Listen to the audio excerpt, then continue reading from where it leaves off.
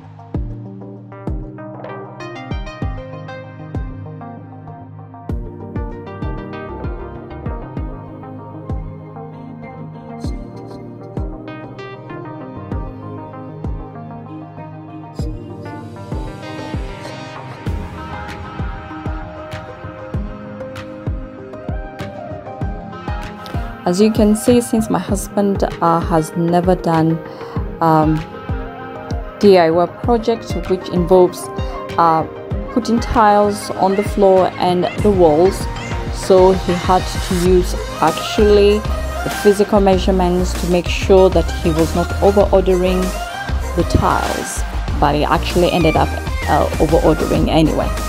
Uh, but as I said uh, when you're doing a DIY project if you have um, some skills you can be able to easily transfer the skills that you have. And like my husband he watched a lot of youtube uh, tutorials on how to tile and how to uh, remove a toilet and install another one and uh, yeah there is so much information out there. You can be able to do it if you put yourself um, around to do it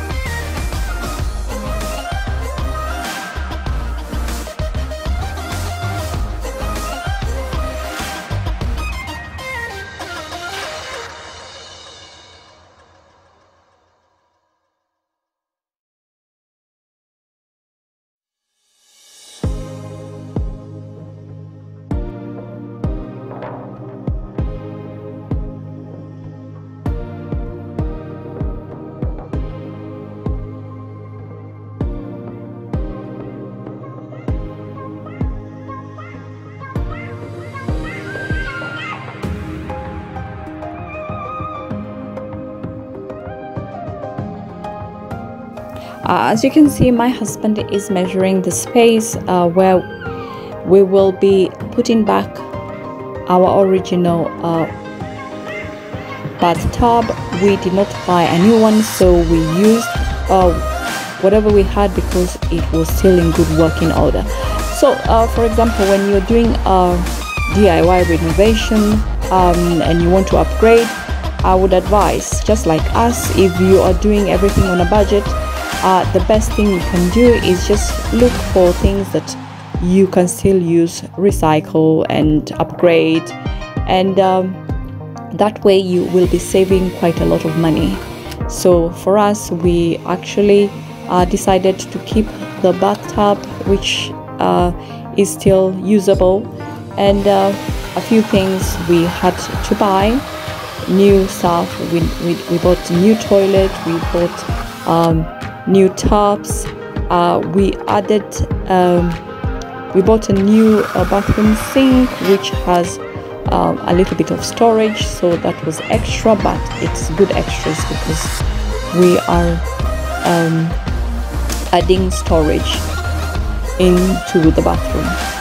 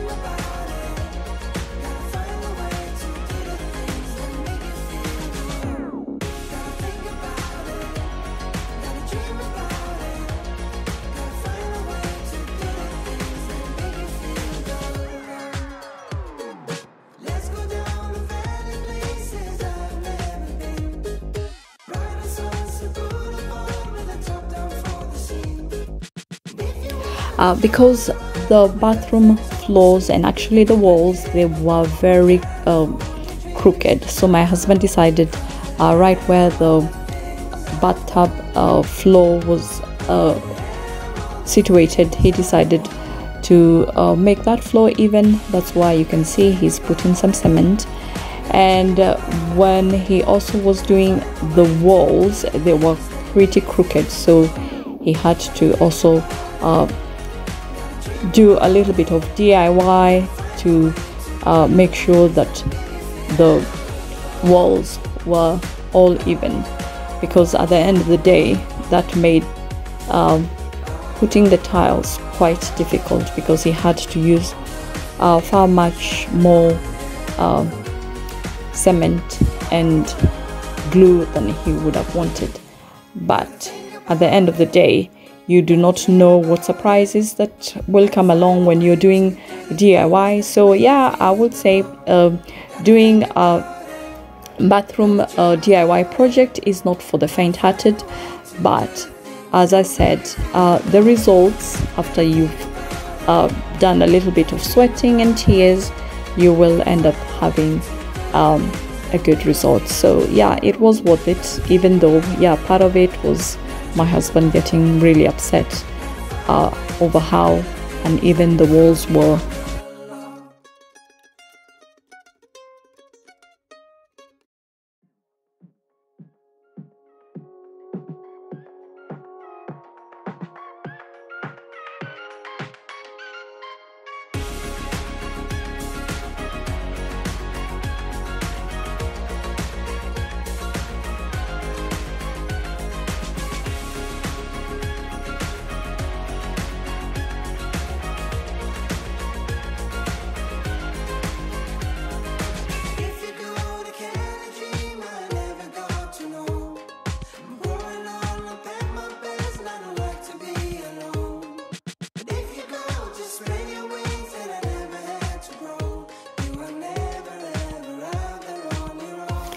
by the way ours was a very simple uh, diy project that was budget friendly.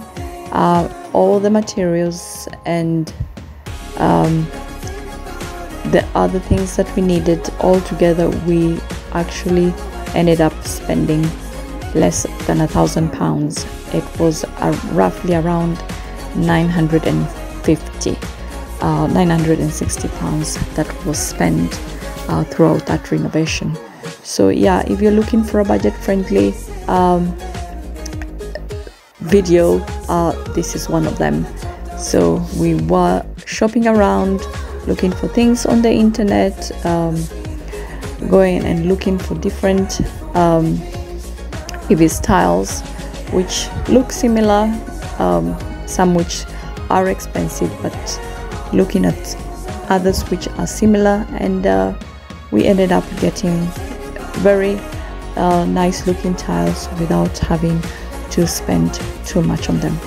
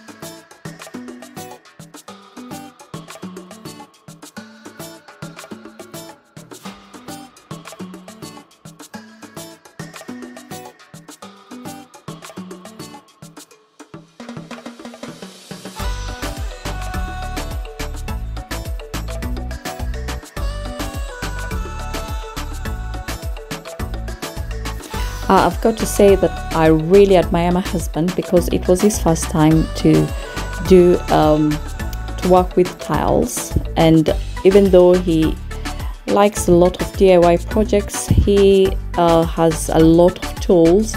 So uh, some of the tools that he has, uh, he could be able to just buy a few things which are able to is like a multi-tool kind of uh, um, power tool that you can uh, use with different uh, power tools interchangeably.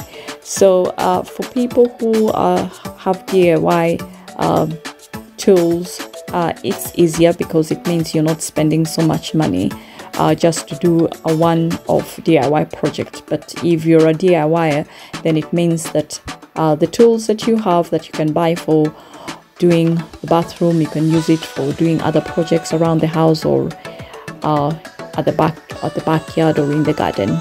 So in that sense uh, i could say that a lot of things that my husband has uh, he didn't have to buy uh, so many tools.